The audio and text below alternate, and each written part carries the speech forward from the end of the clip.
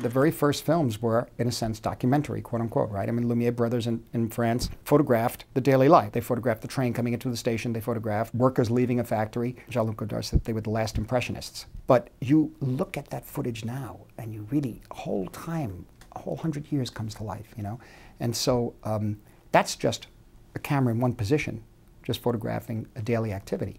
So imagine now, add the story to that, uh, or add uh, an event. I think this is the most probably the most important element of the moving image, and that is to record history, or at least to be a witness to history somehow.